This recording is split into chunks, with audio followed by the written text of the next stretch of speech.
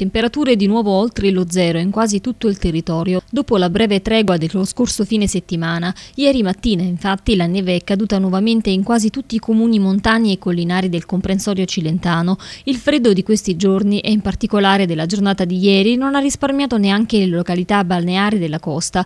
Infatti, gli abitanti di Castellabate, di Palinuro, di Ascea e di diversi comuni lungo la costa si sono svegliati con le spiagge e i litorali completamente bianchi, immagini che hanno incantato l'intero territorio. Il contrasto dei chicchi di ghiaccio e il mare ha stupito e richiamato la curiosità di tantissime persone che con scatti e selfie hanno immortalato il paesaggio. Le foto sono diventate subito virali e hanno fatto il giro del web.